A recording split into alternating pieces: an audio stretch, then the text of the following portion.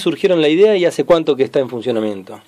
Bueno, empezando con un poco en el tema de la historia de cómo, cómo fue que surgió, empezó hace un, hace un mes más o menos, hace una, sí, hace un mes. Desde el principio de año, los chicos de cuartos sociales, que por lo menos es que es mi curso, teníamos muchas ganas de hacerlo. Generalmente sociales, viste que es el lado más quilombero de la escuela. Entonces, este, se nos ocurrió el tema de hacerlo, bueno, la dirección por ahí mucho no...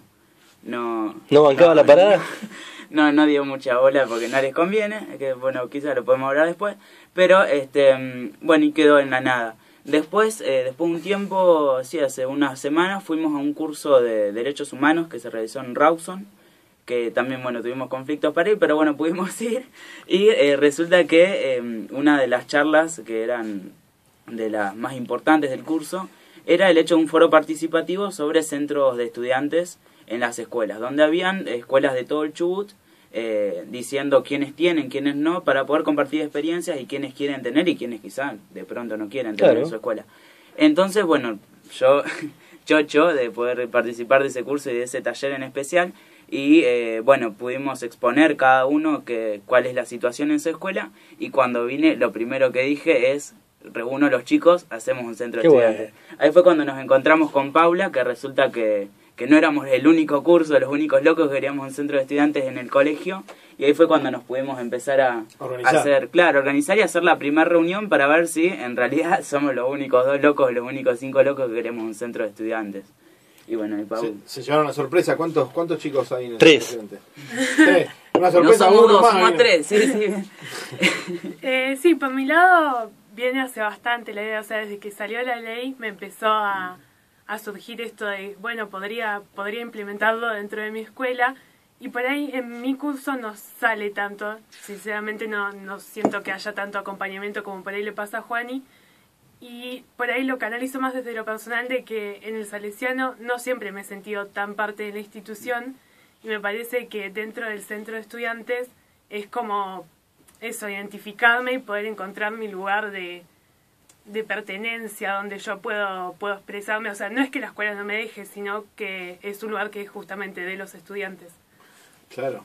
Ah, eh, perdóname, ¿no? Estabas hablando de una ley. Salió una ley, porque yo lo que yo recuerdo siempre fue un derecho, ¿no? El tener un centro de estudiantes en un. No, pero creo que se refiere a la edad de voto, me parece. No, la ley ah, del centro de estudiantes. Ah, ah, una ley de centro de estudiantes. Es medio raro. O es, o es una ley para colegios salesianos. Porque yo, no, yo recuerdo el centro de estudiantes hubo siempre. Siempre, en todos es los lamentable que haya tener que crear una ley para que se obligue. Recién me vengo a noticiar de esto. Claro, a partir de la ley se, se, eh, es obligación de las escuelas decirle que sí a los chicos si se quieren organizar, de los colegios secundarios, sean salesianos o no si quieren tener un centro de estudiantes, ¿no? O sea, a partir de la ley, antes de, antes de esta ley, ¿también era derecho a de centros? Se reservaba el colegio privado si, si querían o no. Tanto el colegio privado como el público.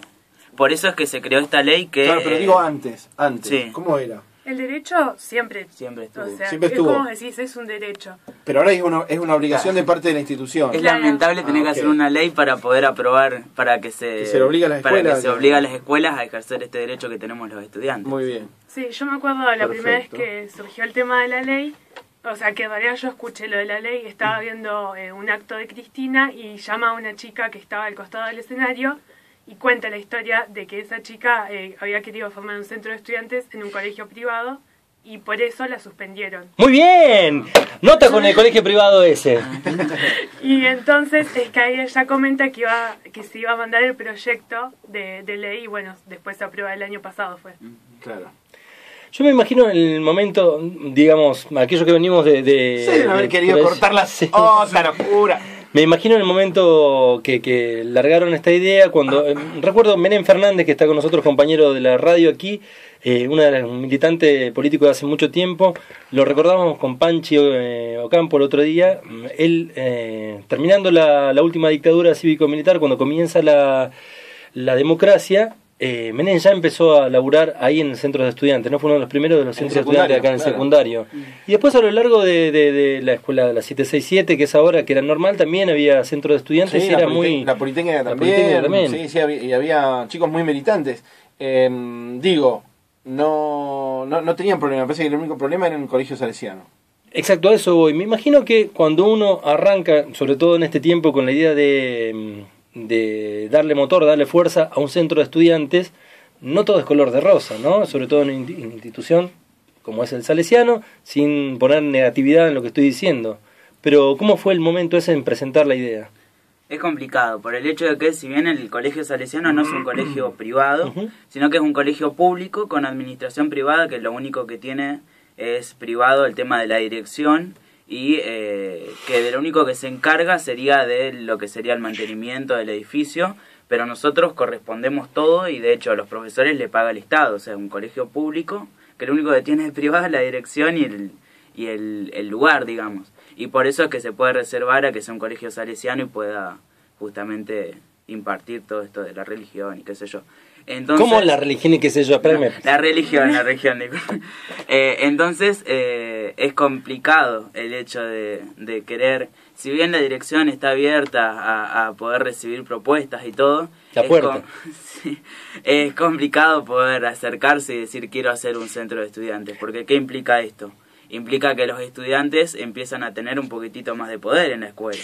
Y a la dirección no sé si le conviene mucho eso. Y es por esto que, bueno, fue complicado, pero lo logramos. de verdad, esto lo, y hoy día, de hecho, todavía tenemos trabas. a eso me refiero. ¿Cuáles, ¿Cuáles eran las trabas? Sin ponernos en personificar a nadie, ¿no? Estamos hablando de una institución y me gustaría saber de esa institución cuáles fueron las trabas, que porque yo sospecho o intuyo, creo que si soy director de una escuela pública y me vienen los chicos, queremos formar un centro de estudiantes, no lo tomo con algo negativo, sino... Algo positivo para la escuela. Algo positivo, ¿no? Eh, Estos pibes van a querer venir a cambiar acá la, la, este, la, la... Tirás para adelante, todos juntos tiran para adelante. ¿No? ¿Cuáles fueron aquellos puntos fundamentales?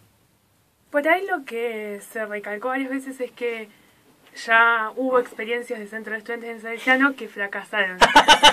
Entonces se repetía por ahí esto como quizás desalentando la nueva experiencia. Miren chicos que acá en el año 1995 se formó un centro de estudiantes y los chicos fracasaron en sus pedidos. No le dieron bola, no le van a dar bola. Vos fíjate que acá, bueno, esto es mucho, mucho trámite, mucho, mucho este papelerío, hay que mandar a Buenos Aires, tienen que responder desde allá la institución, la iglesia, tiene que mandar la carta a Roma. Bueno, esto es, eh, chicos, no, no me vengan con problemas, esto es mucho problema, no quiero trabajar ahora, no quiero trabajar, váyanse de acá.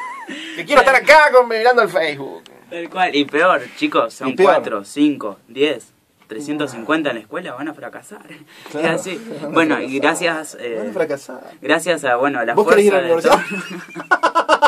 Tal cual. Y gracias a la fuerza de todos nosotros, que éramos 10, después fuimos 15, después fuimos 20, eh, pudimos demostrar que en realidad éramos más de 10 y que no íbamos a fracasar. Muy bien. Así que nada, estamos a full, eh, de a poco fuimos, ya tuvimos la primera reunión en la que asistieron por lo menos un representante de cada curso, donde se empezó a decidir esto. Al principio era, en realidad toda la escuela quiere tener o no un centro de estudiantes. Y ahora como ya pudimos ver la respuesta de los chicos, eh, ya le estamos metiendo para adelante. Por el hecho de que justamente lo que decían, nosotros tenemos que sentirnos parte de la escuela, porque nosotros somos parte de la escuela y tenemos que poder ¿Son la tomar, escuela? nosotros somos la escuela. Entonces tenemos que poder tomar decisiones y poder proponer proyectos, porque es como lo que hablábamos.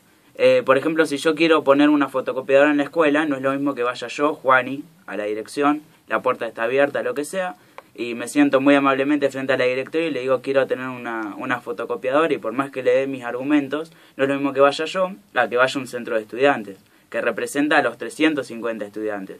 Por más de que yo vaya con la misma intención y con sabiendo que los otros 350 quieren, no es lo mismo. Totalmente. y estas son las cosas que se hablan en las reuniones. O sea, estamos todos de acuerdo, levantan la mano, como es democrático, me imagino. O, ustedes son los dos tiranos así del centro de estudiantes. Para nada. Justamente eh, esto, el centro de estudiantes, nosotros lo que queremos es justamente ejercer democracia en la escuela y practicar, porque a nosotros en la escuela, viste ese viejo verso de que en la escuela te enseñan a vivir el día de la mañana, te preparan para una vida en democracia y ¿qué pasa? Nos están preparando para una vida en democracia, pero no la podemos ejercer en nuestra propia escuela. Somos entonces que... este pibe. Este, y pero ponete para director de colegio, directamente. Claro. Acá los viejos chot, están ahí.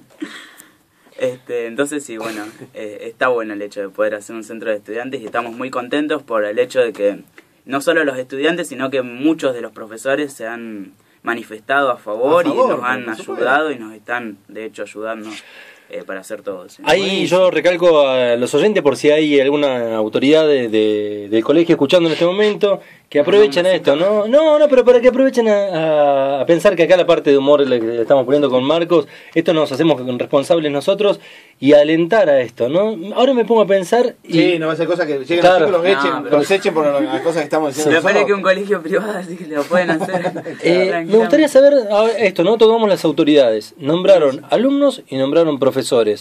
La comunidad de profesores y comunidad de alumnos, 100% apoya la decisión esta o hay también eh, freno por parte de los mismos compañeros y de los mismos docentes? No sé si querés continuar vos, porque yo estoy hablando eh, demasiado de los compañeros, yo no escuché a nadie que dijera no. Sí, el hecho de para qué o no, no les va a funcionar. También como que por ahí hay un poco de escepticismo, si se podría decir. Y de los profesores, no he escuchado a ninguno que haya dicho no lo hagan.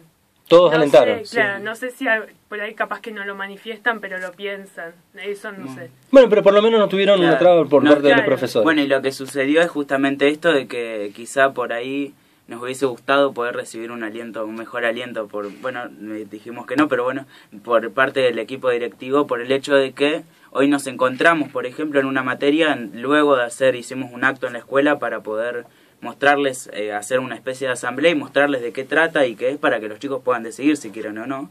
Y nos encontramos con profes que no sabían que se estaba haciendo, que se estaba formulando esto. Entonces quizá con la dirección ya venimos hablando hace tiempo y bueno, nos llamó la atención eso de que no hayan informado a, todos los profes. Entonces, pero la verdad que hasta ahora todos los profes que, que, nos, que hemos hablado, todos nos han manifestado que están a favor de esto y que, con, y que podemos contar con ellos remitiéndome quizás... Anota la palabra, remitiéndonos a, lo que nos habías dicho, el tema de las trabas. Y no me olvidé, así que vamos a poner. eh, ahora después te lo digo. Dale, una otra otra cuestión que tiene que ver